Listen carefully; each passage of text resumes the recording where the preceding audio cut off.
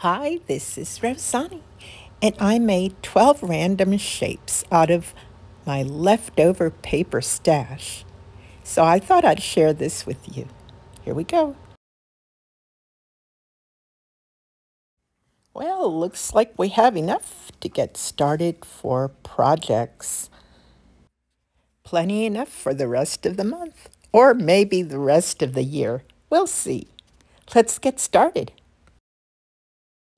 Trace around the shapes. Get an idea of what you might want to create, like this.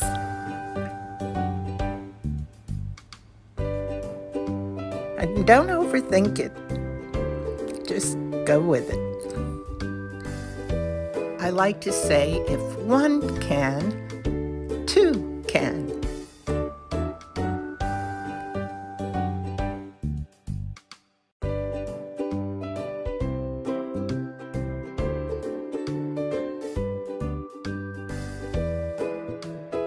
don't have to do these all at one time. I mean, if you want to do them once a month, that's fine. I'm just doing this to demonstrate the possibilities. So you just do it however you like. Mostly have a good time doing it. And what I mean by that is have a good time sculpting on it because right now I'm just outlining the ideas and I'm going to put each piece together in a little bag with the sketch and later on it's going to be sculpted. And that's what I'm going to do in this video. But right now, these are going to go into little kits and they can be given as gifts or I can finish working on them later with my papier-mâché. So let's continue.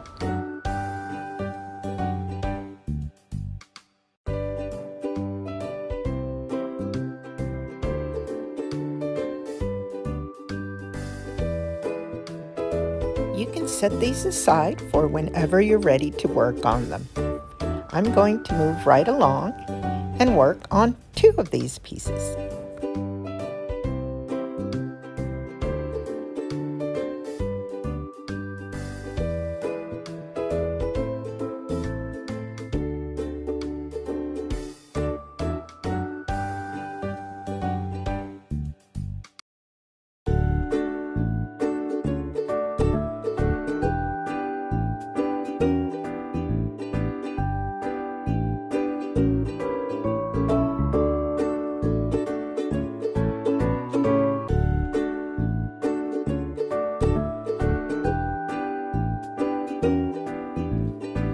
That seems like a good start. So I hope you get the idea of where we're going to go with these. Each piece has a lot of potential. Let's see what we do with this guy.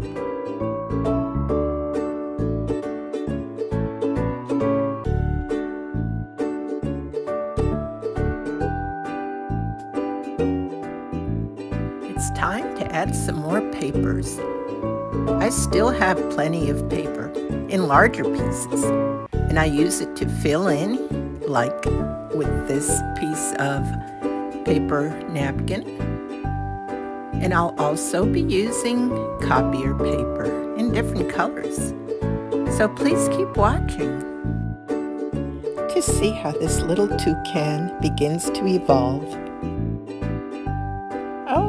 looking pretty good himself.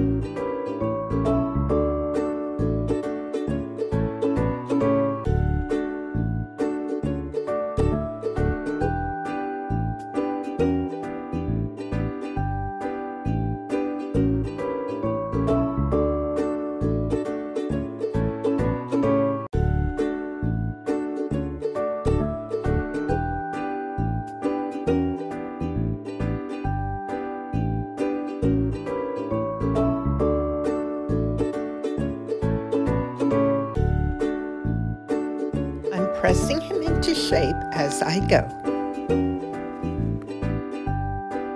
It's very easy to add on, to put details wherever we want.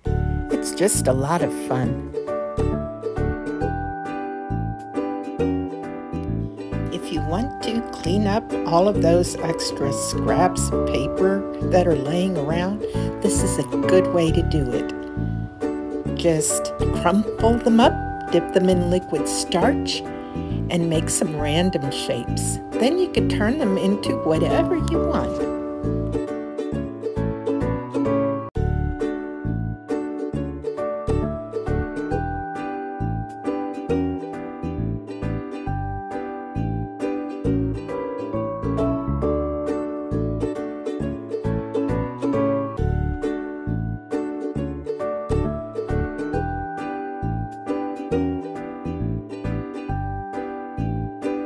Going to continue working on this side and then I'll set it aside to dry and later work on the other side.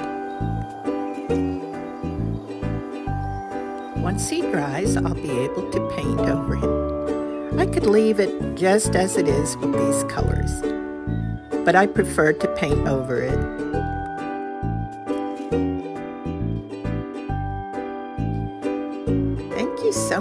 for watching. I hope you'll come back and join me in more videos. See you next time. Bye for now.